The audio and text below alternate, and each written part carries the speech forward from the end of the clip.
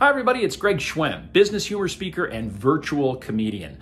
I know, I know, we're still saying virtual, but uh, hey, some good things have come out of this pandemic. I uh, learned to shoot green screen videos. But let's be honest, our attention span in these virtual meetings is starting to waver just a bit. You know, five minutes into the meeting, we all look and feel like this. Which is why you need to include some humor. Join the companies who have hired me to add a little life to their virtual events. Not that your VP of marketing and your director of HR aren't hilarious in their own right.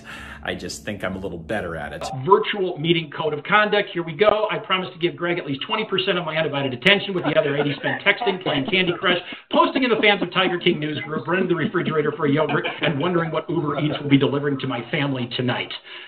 I, everybody could say I. Thank you very much. I would appreciate that. Aye. Yeah. Aye.